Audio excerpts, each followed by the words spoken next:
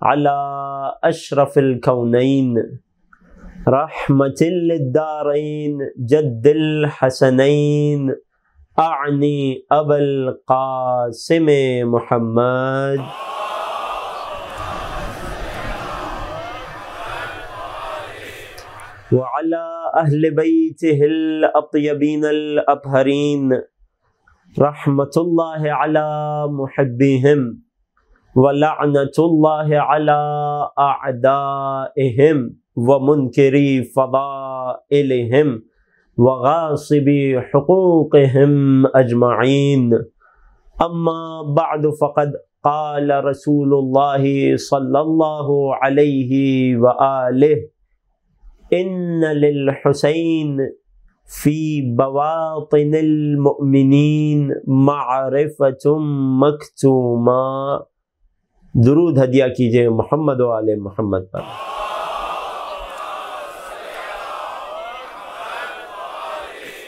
जान मुहतरम आज़ादारा ने सैदुलशहदा सलाम अलैकुम वरहमतुल्लाह।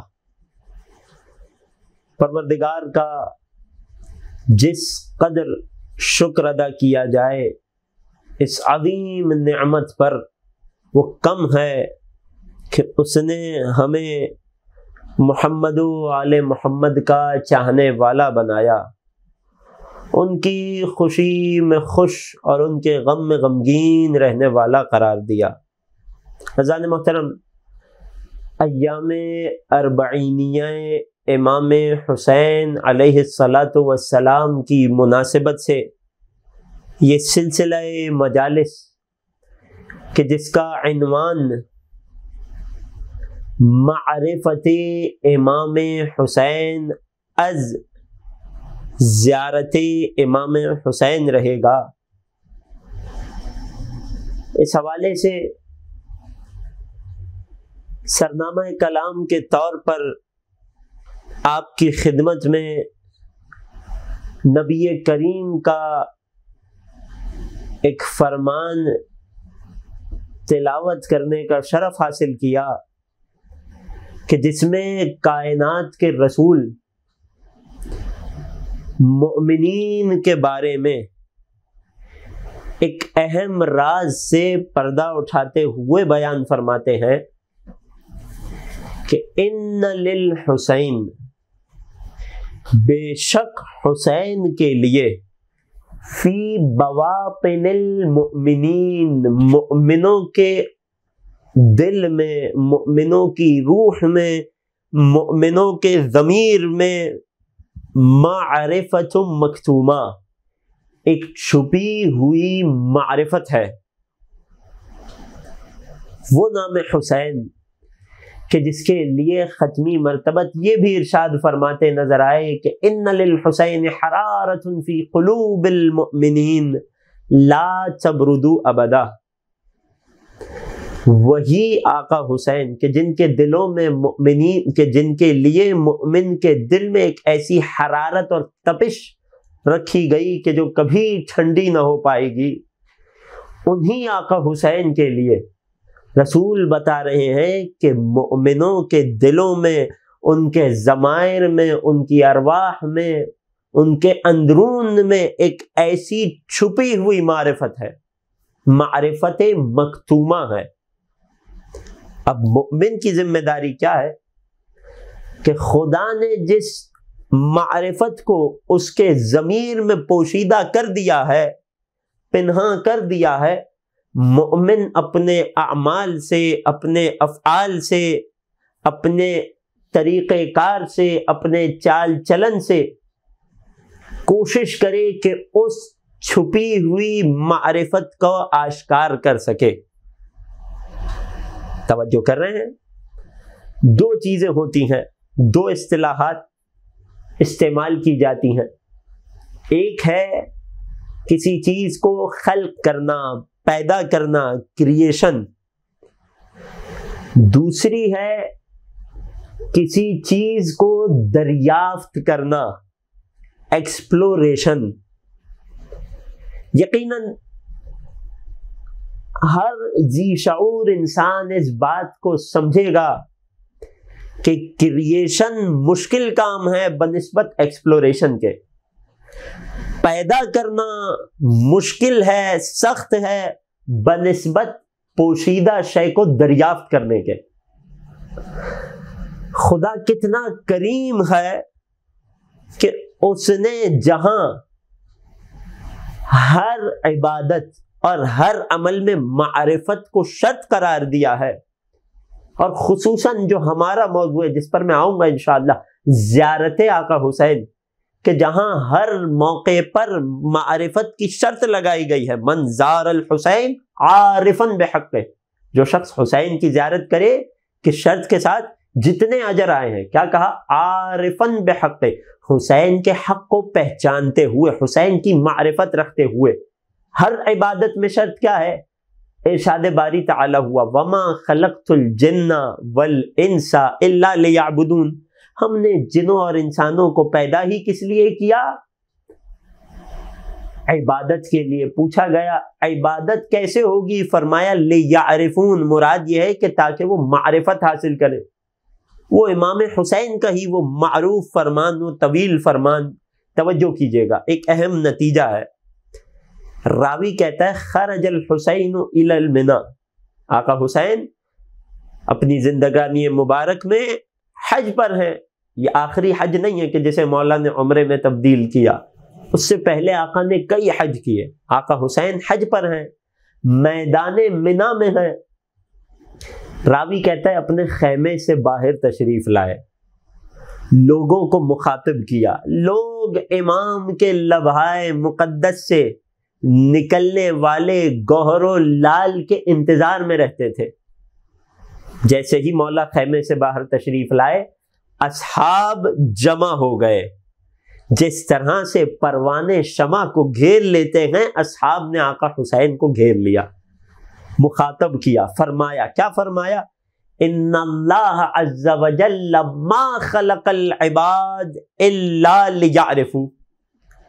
खुदा ने बंदों को, लोगों को फकत इसलिए खल किया कि वो उसकी मारिफत हासिल करे।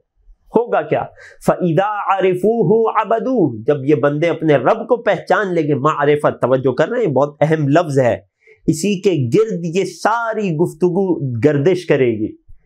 फ़ईदा आरिफू अबदू जब बंदा अपने खुदा को पहचान लेता है तो उसकी बंदगी करता है। एक बंदगी के जो हम आदतन करते हैं, कि जो खुदा ने वाजिबात हम पर फ़र्ज़ किए हैं, हम पर लाजिम किए हैं, उन्हें पूरा करते हैं, गुनाह से बचते हैं। ये बहुत अहम है, ये पहला मरहला, पहली सीढ़ी है।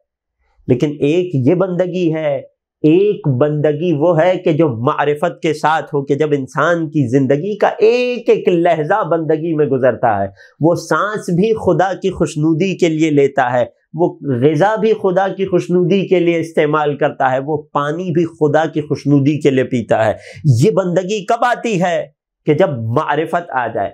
मारिफत कैसे आएगी? रावी ने सवाल किया, मौला जब इबादत करेगा तो होगा क्या? फरमाया फ़ैज़ा अबदू इस्तगनौ इबादत ही अन इबादत गैर जब इंसान अल्लाह की बंदगी करेगा तो खुदा के सिवा किसी और के सामने सर नहीं झुकाना पड़ेगा। जब वो अपने आप को खुदा का फ़कीर और मोहताज बना लेगा तो खुदा के सिवा किसी और का नियाजमंद और मोहताज नहीं रहेगा। दुनिया से बेनियाज हो जाएगा। रावी ने जैसे ही सुना, सवाल किया, मौला कई फयुरफुल्ला मौला खुदा की मारिफत कैसे हासिल हो? फरमाते हैं कुल इंसान इमाम जमान ही, हर इंसान को अगर खुदा की मारिफत तक पहुँचना है तो अपने जमाने की इमाम की मारिफत और पहचान को हासिल करे। बुनियादी तौर पर, तवज्जो कर रहे हैं? सिलसिला कैसे चल रहा है बात का? कैसे खुदा की मारफत, खुदा की इबादत व बंदगी के जो हदफ है इंसान की तखलीक का, वो बंदगी और इबादत टिकी हुई है खुदा की मारफत पर और मारफत खुदा टिकी हुई है मारफत इमाम पर। और यकीन जानिए कि अपने ज़माने के इमाम को कोई उस वक्त तक नहीं पहचान सकता कि जब तक हुसैन की मारफत अता न हो जाए। तो ये सारा सिलसिला जिस मरकज महवर के गिर्द घूम रहा है, गर्दिश कर रहा है, वो है मारफत इमाम हुसैन। फिर पलटूँगा इब्तदाई गुफ्तगु की तरफ़। लिहाजा अब एक मोमिन की ख्वाहिश होनी चाहिए, उसकी चाह होनी चाहिए। दिल में हमेशा ये ख्याल गर्दिश करना चाहिए कि किसी तरह मैं इमाम हुसैन की मारफत में इजाफा कर लूँ, किसी तरह इमाम हुसैन की मारफत मुझको मिल जाए ए मोमिन, तेरा ये काम इंतहाई मुश्किल हो जाता। अगर खुदा की खास रहमत तेरे शामिल हाल न होती, अगर तेरा दिल मुकम्मल हुसैन की मारिफत से खाली होता तो शायद इस तारीख दिल में हुसैन की मारिफत का नूर रोशन करने में बहुत वक्त लग जाता। खुदा ने यहाँ भी तुझे बेआसरा नहीं छोड़ा। तुझे यहाँ हुसैन की मारिफत पैदा करने की ज़िम्मेदारी नहीं दी। ये नहीं कहा कि क्रिएट करना पड़ेगा। नहीं क्या फरमाया? हुसैन की छुपी हुई मारिफत दिल में रख दी है। एक मोमिन को फकत इस मारिफत को दरियाफ्त करना है, एक्सप्लोर करना है। तवज्जो कर रहे हैं? अब इस हदीस के मफहूम की गहराई को महसूस कर रहे हैं। रसूल ने ये बताकर इस राज से पर्दा हटाकर कितना बड़ा एहसान किया उम्मतियों पर। कि वो हुसैन के जिसकी मारिफत पर सब कुछ टिका हुआ है, उस हुसैन की मारिफत तुम्हें पैदा करने की ज़रूरत नहीं है। अगर तुम मोमिन हो तो दिल में खुदा ने छुपा के रखी है। तुम्हें क्या करना है? गर्दो गुबार को हटाना है। रिज से अपने आप को बचाना है। दुनिया की रगबत से अपने आप को जितना दूर करते जाओगे, हुसैन की छुपी हुई मारिफत दरियाफ्त होती चली जाएगी। और इसी छुपी हुई पोशीदा मारफत इमाम हुसैन को दरियाफ्त करना हमारी इस गुफ्तगु का हदफ रहेगा। कोशिश रहेगी कि इन ग्यारह तकारीर में आपकी खिदमत में कुछ ऐसे मतालब, कुछ ऐसे आरज़ आल मोहम्मद के कलाम की रोशनी में पेश किए जाएँ कि जिससे हमारे दिलों में पोशीदा मारफत को हम दरियाफ्त कर सकें। और जब ये पोशीदा मारिफत दरियाफ्त होगी तो खुदा की मारिफत तक पहुँचेंगे। खुदा की मारिफत तक पहुँचेंगे तो बंदगी के मरहले पर पहुँचेंगे और मकसद तख्लीक, हदफ खिलकत को हासिल कर सकेंगे।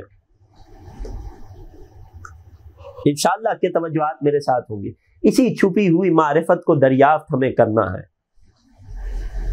क्या किया जाए? कैसे इस छुपी हुई मारिफत से पर्दा उठाया जाए? क्या तरीका है हुसैन अलैहिस्सलाम की मारिफत का? तरीका यह है कि इंसान के जो दुनिया में हमेशा खैर और अच्छाई की तलाश में रहता है, इस जुमले की तरफ़ मैं बाद में आऊँगा। किसी भी इमाम और खसूसी तौर पर इमाम हुसैन की, मेरा आपसे सवाल है। नौजवान दोस्तों, मेरे कम सिंह बच्चे, कि अगर कोई अनजान शख्स हो, आप उसे जानना चाहें, जानने को अरबी में मारिफत कहते हैं। कोई अनजान शख्स हो, बड़ी अकली सी बात कर रहा हूँ, कोई हदीस नहीं पढ़ रहा इस वक्त। कोई अनजान शख्स है आपको उसे जानने का बड़ा इश्तियाक है। शौक रखते हैं आप उससे मुलाकात का, उसे उसे जानने का, उसके बारे में ज़्यादा मालूम हासिल करने का। बहुत से तरीके हैं, उसके बारे में कोई किताब पढ़ लीजिए। आजकल के दौर में गूगल पे सर्च कर लीजिए, लेकिन गूगल और किताब आपको एक हद तक मालूम दे पाएगी। बेहतरीन तरीका किसी को पहचानने का क्या है? उससे मुलाकात के लिए तशरीफ़ ले जाइए। अल्लाह अकबर। तवज्जो कर रहे हैं? किसी को भी पहचानना है, किसी की मारिफत हासिल करनी है तो बेहतरीन वसीला और ज़रिया जो इंसानी अक्ल बताती है, क्या है कि जाकर उससे मिल लीजिए, उससे मुलाकात कर लीजिए। अगर आम इंसान होगा, वक्त दे देगा, कोई बड़ा आदमी होगा दुनियावी एतबार से तो थोड़ी कोशिश करनी पड़ेगी थोड़ी मुश्किल होगी मगर वक्त मिल जाएगा। वक्त मिलेगा जाकर सामने हाजिर होंगे दू बदू बात करेंगे चेहरा ब चेहरा कलाम हो, होगा तो खुद ब खुद आप पहचान जाएँगे वो क्या है कैसा है। तवज्जो कर रहे हैं। अक्ल ये बताती है कि अगर किसी को पहचानना है तो जाकर उससे मुलाकात कर लीजिए।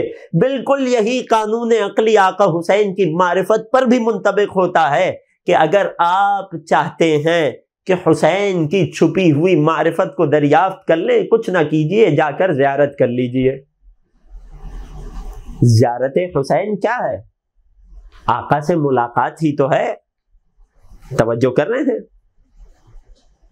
यहाँ से हमें दो बातें समझ आ गई। दो नतीजे निकल आए। पहला ये कि खुदा की बंदगी मौकूफ है खुदा की मारिफत और पहचान पर।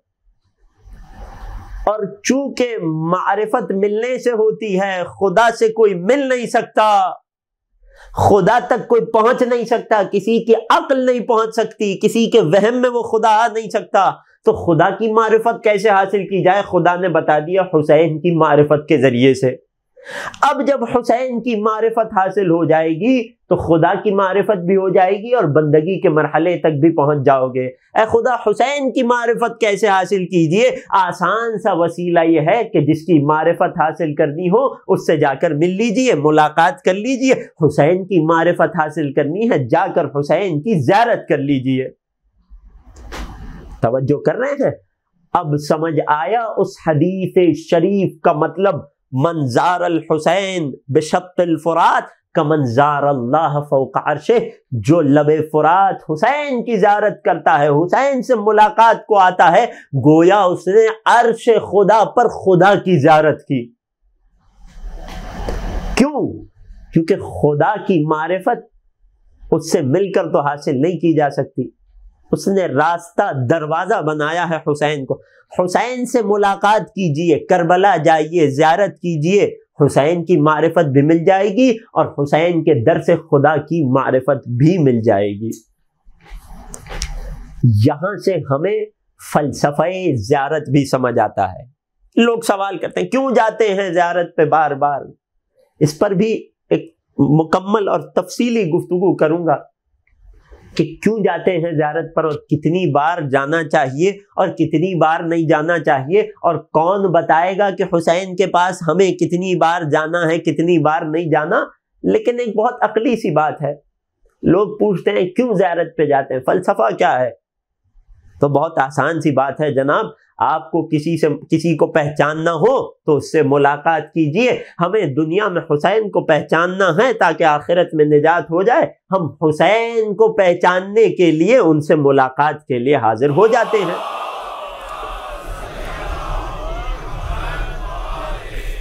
बात को एक मंजिल और आगे बढ़ाता हूँ।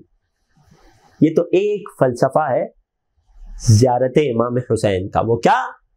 कि मारफत हुसैन टिकी हुई है, मौकूफ है ज्यारत इमाम हुसैन पर। क्यों? मुलाकात कर लीजिए। कोई आकर कहे, जनाब, मुलाकात करना और होता है, कब्र पर जाना और होता है। आप तो कब्र की ज्यारत करते हैं। नहीं जनाब, आज इस मजलिस के तसदुक से इस अकीदे को जहनों में रासिख कर लिया जाए। एक मरतबा हम अपने किसी मरहूम की कब्र पर जाते हैं, एक मरतबा अम्मा ताहरीन की कबूर पर जाते हैं। कोई इन दोनों को एक जैसा तस्वुर ना करे। तवज्जो कर रहे हैं? मंजिल बहुत नाजुक है। थोड़ी सी तवज्जो कीजिएगा। एक मरतबा हम अपने मरहूम की कब्र पर जाते हैं और एक मरतबा आयमा की कबूर की ज्यारत को जाते हैं। एक जैसा ना समझिए, बहुत फ़र्क है। सबसे पहला और बुनियादी फ़र्क यह है कि हमारे मरहूम की कब्र पे हम इसलिए जाते हैं, हमें ज़रूरत नहीं है मरहूम को ज़रूरत है। जबकि आयमा की कब्र पे इसलिए जाते हैं, उन्हें ज़रूरत नहीं है, हमें उनकी कब्र की ज्यारत की ज़रूरत है। मरहूम की कब्र पे जाके क्या करते हैं? अपनी तशफ़ी के लिए पानी डालते हैं, फूल चढ़ाते हैं और मरहूम के काम आने के लिए कुरान की तिलावत करते हैं। क्यों? सवाब भेजेंगे, हदिया करेंगे, ईसाल करेंगे तो उसे उस जहान में आसानी होगी। लेकिन जब हम अपने इमाम की कब्र पर जाते हैं तो सवाब देने नहीं जाते, सवाब लेने के लिए जाते हैं। उनकी आसानी के लिए नहीं जाते, अपनी आसानी, अपनी नस्लों की आसानी के लिए जाते हैं। यह है पहला फ़र्क। इससे भी बहुत बड़ा अहम एतकादी फ़र्क यह है कि जब हम अपने मरहूम की कब्र को जाते हैं तो हम एक मरहूम, एक मुर्दे, एक मैत एक मरहूम की कब्र पर जा रहे हैं। जबकि जब इमाम की कब्र पर जाते हैं तो फकत कब्र की जियारत के लिए नहीं जाते। वो कब्र की जियारत उस इमाम की जियारत कहलाती है। मैं बात को आसान करूँगा। बहुत सारे जुमले में छोड़ता और रोकता जा रहा हूँ। तवज्जो कीजिएगा, मंजिल बहुत नाजुक है। खबरदार ए आका हुसैन की जियारत पे जाने वालों। जब भी आका की जियारत पर जाओ, चहरदा मासूमीन में किसी मासूम की जियारत पर जाओ, खुदा हमें बार बार नसीब करे। जिस इमाम की जियारत पर जाओ, खबरदार ये ख्याल लेकर न जाना कि मैं किसी मरहूम की कब्र की जियारत के लिए आया हूँ। नहीं अजीजों, वो आम लोग होते हैं जिनकी रूह परवा कब्ज हो जाए तो मुर्दा शुमार होते हैं। ये आले मोहम्मद हैं। रूह जसद से अलग हो चुकी है, लेकिन हमारा अकीदा यह है कि जब हम करबला जाते हैं तो हुसैन की कब्र की जियारत के लिए नहीं आते, फकत हुसैन की जियारत के लिए आते हैं। हुसैन से मुलाकात के लिए आते हैं। दलील पेश कर दूँ, खुद वो जियारात के जो हमें मासूम इमामों ने तालीम फरमाई है क्या जुमले हैं? अशहद अन्नका तरा मकानी व तस्मा कलामी व तरुद्दु सलामी। जारत आका हुसैन, इसने दुखूल पढ़िएगा जाकर। हमेशा पढ़ते हैं। अब की बार जरा गौर कीजिएगा इन जुमलों पे। ए आका, मैं गवाही देता हूँ। मैं जहाँ खड़ा हूँ, मेरी इस कयाम गाह को आप देख रहे हैं। गवाह हैं। क्या मुर्दा गवाही दिया करता है?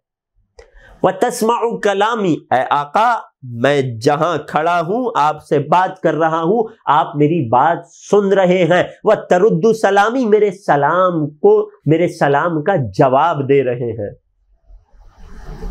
ये अगर उनकी ज़िंदगी और हयात नूरानी की दलील नहीं है तो क्या है? बहुत फ़र्क है। एक मरतबा किसी की कब्र की ज्यारत पर जाना, एक मरतबा इमाम मासूम की ज्यारत पर जाना। कभी ये ख्याल ना करना मैं किसी कब्र की ज्यारत को जा रहा हूँ। नहीं, इमाम मासूम के महजर में हाजिर हो रहा हूँ। इमाम जिस जगह उनका वजूद नूरानी है, वहाँ हाजिर हो रहा हूँ। तवज्जो कर रहे हैं? बात पहुँच रही है। नतीजा क्या हुआ पूरी बात का? अब तक की गुफ्तगु का नतीजा यह हुआ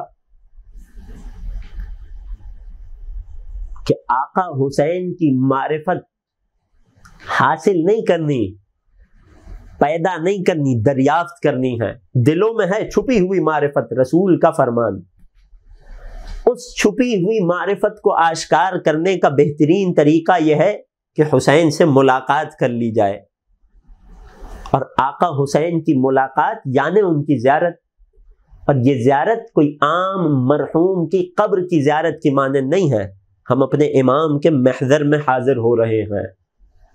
यही वजह है कि जब खुदा किसी को निजात देना चाहता है, जब खुदा किसी से अच्छाई चाहता है, अल्लाह अकबर। अजीब जुमले हैं रिवायत के। खैरा। जब खुदा किसी के लिए खैर चाहता है, खैर क्या होता है? इनशाला के तफसील से बयान होगा। जब खुदा किसी के लिए खैर और अच्छाई चाहता है तो क्या करता है? क्या उसे मस्जिद की राह दिखा देता है? नहीं, मस्जिद के रुतबे में कोई कमी नहीं की जा रही। क्या उसे किसी और अमल की तरफ़ माइल कर देता है? नहीं, तमाम अमाल ही अपनी जगह मुहतरम हैं बाफजीलत हैं, लेकिन किसी अमल में जमानत नहीं है कि तुम इस अमल को करो तो खुदा तक पहुँच पाओगे या नहीं। खुदा एक ऐसा, एक ऐसी शय जिससे मोहब्बत करे, उसके दिल में डाल देता है कि जिस शय में जमानत है, इस दर पे आ जाओ, खुदा तक पहुँच जाओगे। वो क्या है?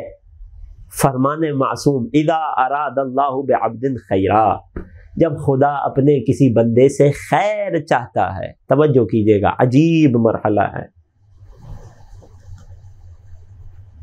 दुनिया में हर इंसान की ख्वाहिश यह है, हर इंसान की चाहत यह है कि किसी तरह खैर हासिल हो जाए। ये दुनिया किस चीज़ के पीछे दौड़े चली जा रही है? हर इंसान किस चीज़ की ख्वाहिश रखता है? अपनी अच्छाई की।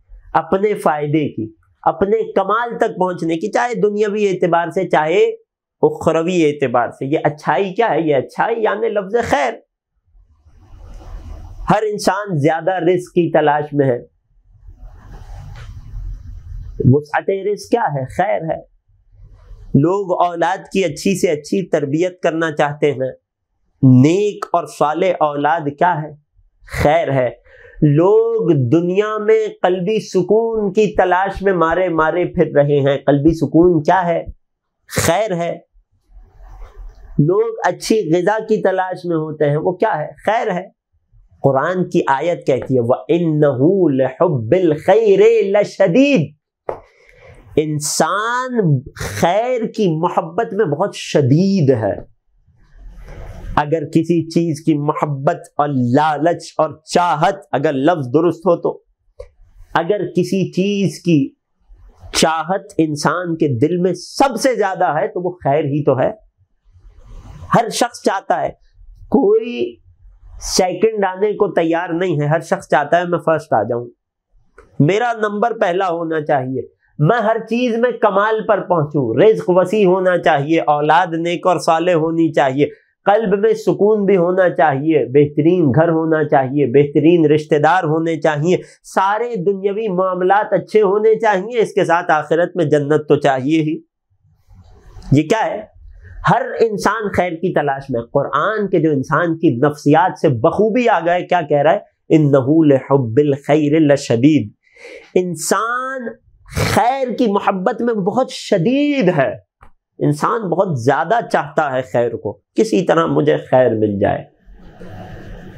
खुदा, तुझे ये तो मालूम है कि मैं आदमी हूँ, मैं औलाद आदम हूँ, मैं इंसान हूँ, मैं खैर की मोहब्बत में बड़ा शदीद हूँ। ऐ खुदा, रास्ता भी बता देता। अल्लाह अकबर, जवाब आया, हमने रास्ता बता दिया। हर इंसान हर खैर की तलाश में है।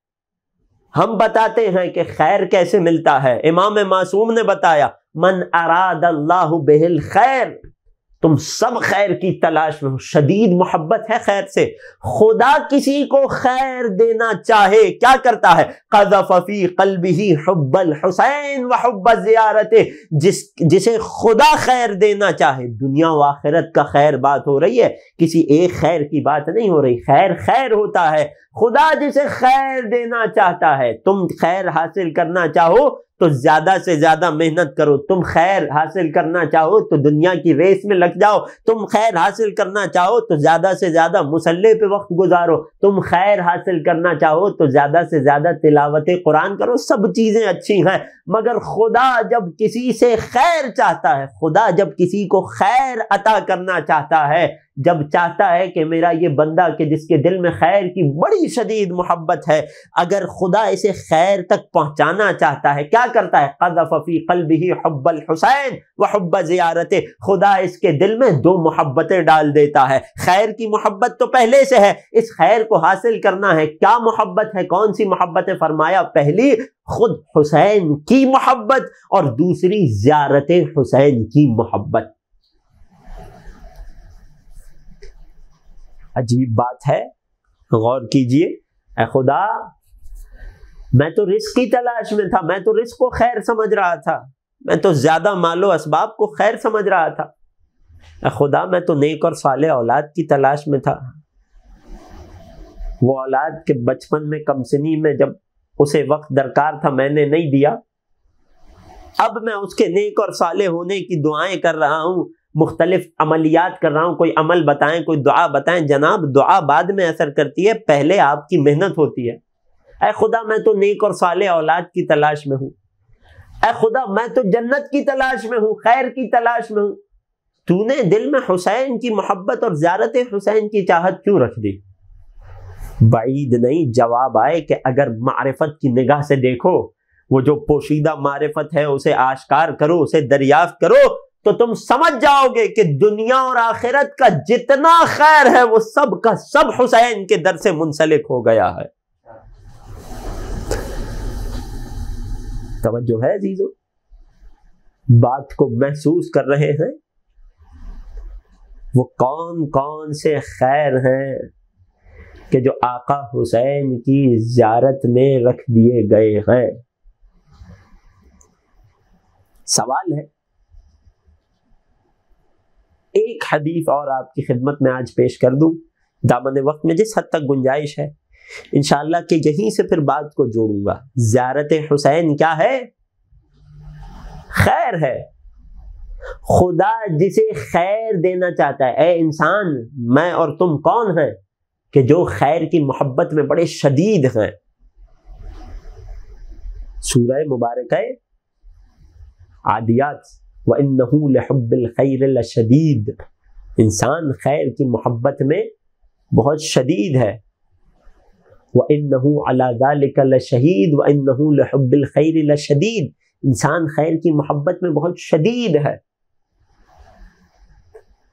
जिस खैर की मोहब्बत में तुम बहुत शदीद हो, जब वो खैर मैं तुम्हारा खालिक अल्लाह किसी को देना चाहता हूँ तो दिल में हुसैन की मोहब्बत और ज़्यारत हुसैन की मोहब्बत डाल देता हूँ। नतीजा क्या हुआ? कि हमारी निगाह में खैर बहुत कुछ है।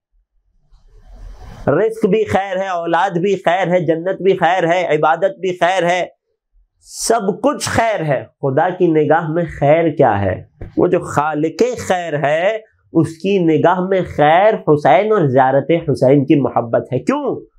क्योंकि जिन चीज़ों को ए इंसान तू अपनी मंजिल बना बैठा है, वो सब के सब रास्ते हैं, मंजिल हुसैन है।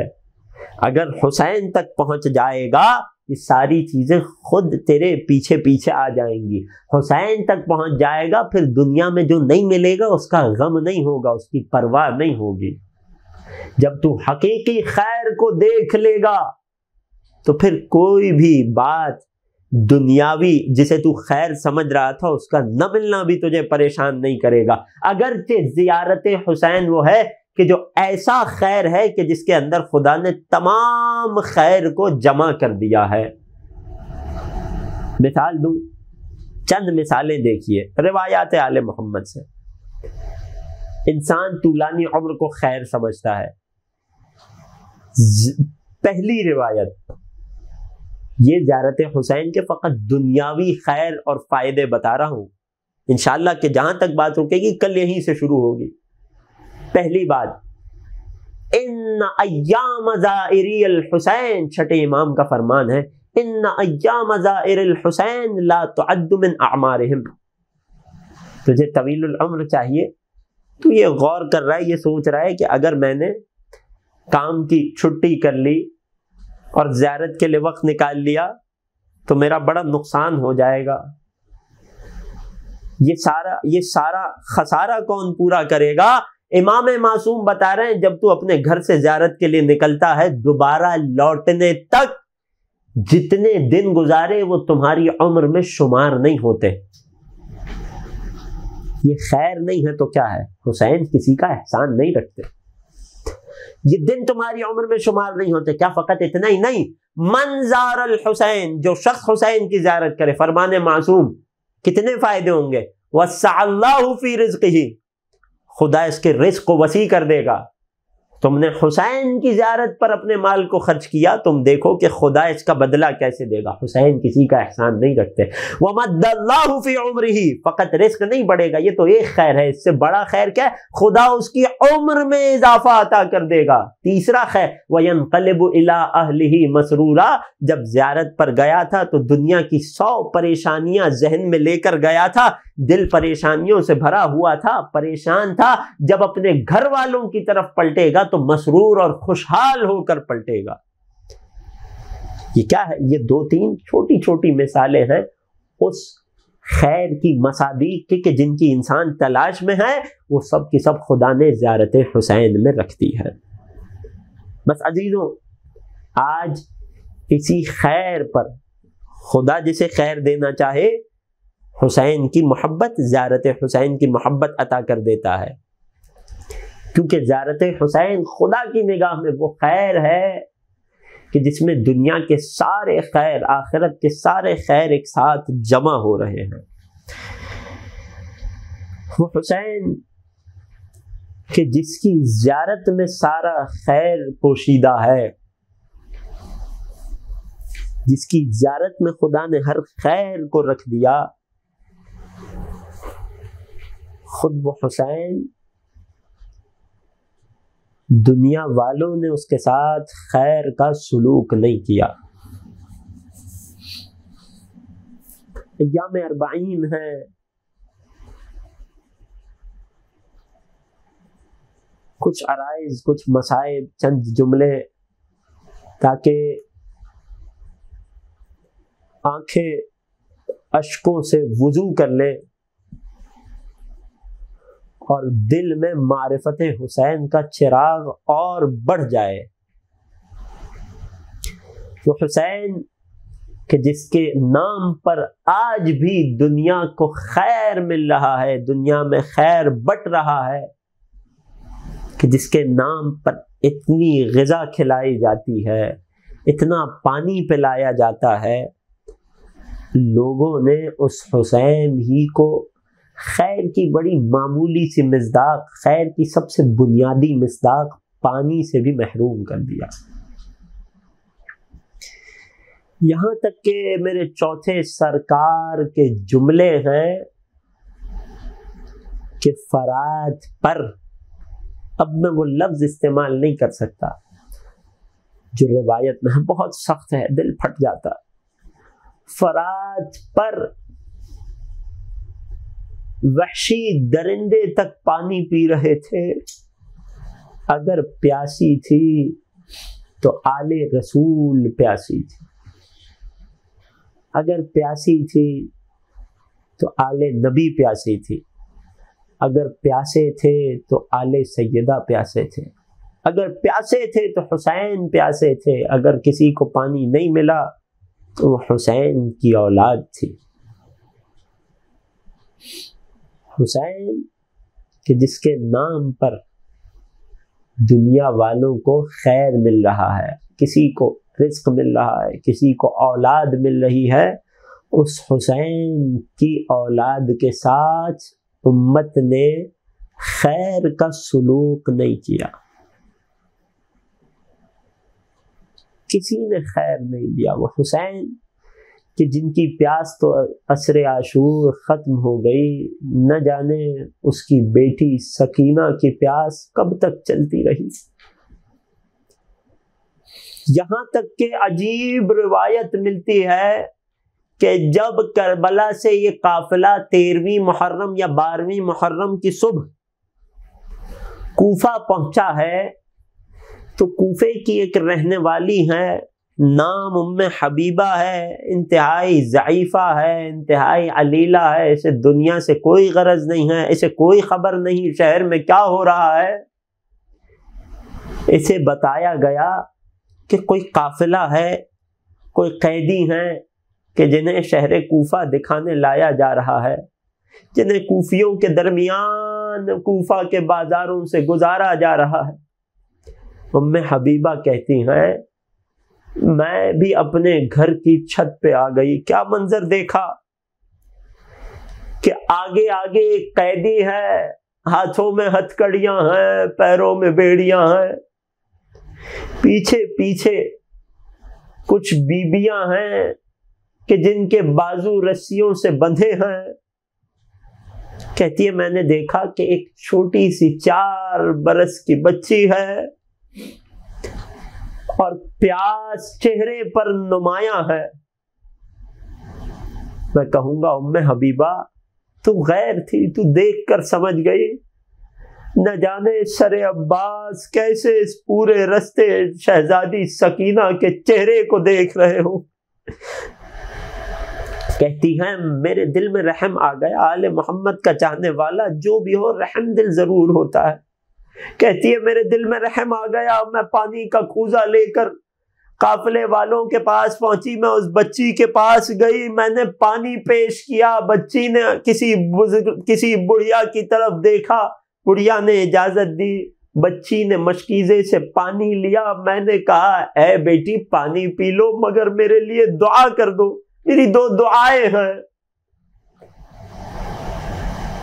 जैसे ही बच्ची ने ये जुमला सुना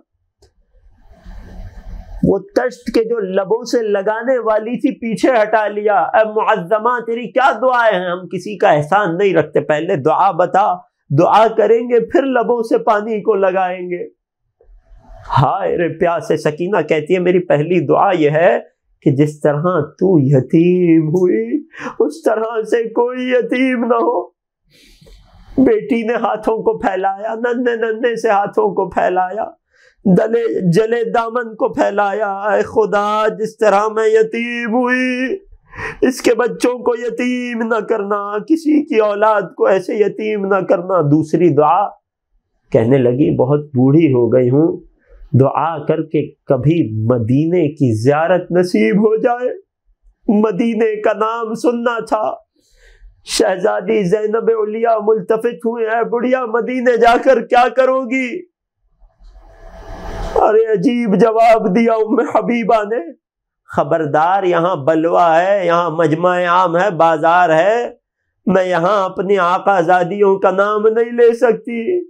मदीने में मेरे मौला अली रहते हैं, शहजादी फातिमा जहरा रहती हैं। मैं उनकी कनीज उनकी ज्यारत पर जाऊँगी, उनसे मुलाकात का शरफ हासिल करूँगी, जवाब दिया उम्मे हबीबा।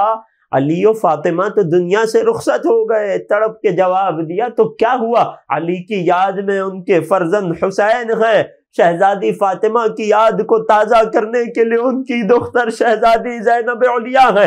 मैं अपनी आकाजादी की खिदमत करूँगी, मैं उनकी ज्यारत करूँगी। जवाब दिया उम्म हबीबा, क्या अपनी आकाजादी को पहचानती हो? अः बीबी, कैसे ना पहचानू? मैं उस घराने की खादिमा रह चुकी हूँ। अरे उम्म हबीबा कहती है, अरे उस शहजादी ने अपने रुख से अपने बालों को समेटा है उम्म हबीबा। मैं ही तेरी मालिकन मैं ही तेरी सैदानी मैं ही फातिमा की दुख्तर जैनब उलिया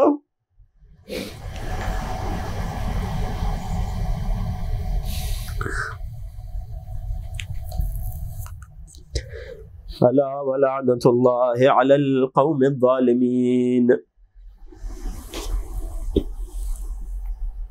कौमिज़ ज़ालिमीन वसयअलमुल्लज़ीन ज़लमू आल मुहम्मदिन अय्यमुनक़लिबिन यनक़लिबून बारे लाहा तुझे वास्ता